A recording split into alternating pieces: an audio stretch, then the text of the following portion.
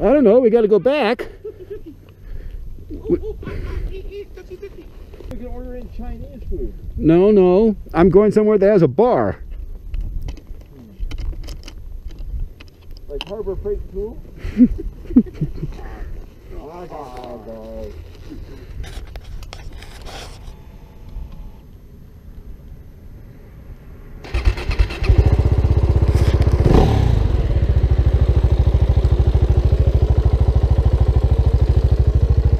Oh. I got to ride down there to turn around. Cause I, I need a big place to turn around in. I can't turn around here. Oh, come on. No, I can't. It's Yeah, got a, go it, ed- it doesn't have a gear indicator. and you're going to go edit this thing all up and make it look like this KT and actually stay with my DRZ, which we all know is impossible? Well, uh, okay. No, you, you ran off and left me because you're the great Brakelate. Yeah, right.